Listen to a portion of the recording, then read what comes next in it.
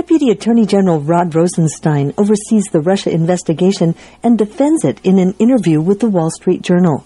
He says he accepts that people are frustrated with the investigation, which President Trump has repeatedly called a witch hunt.